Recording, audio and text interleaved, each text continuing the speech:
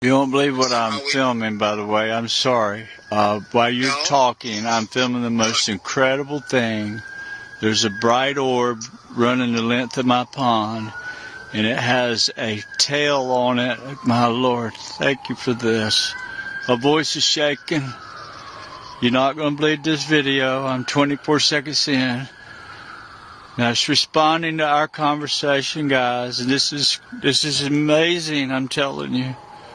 Um, it has an aura around this orb, a tail.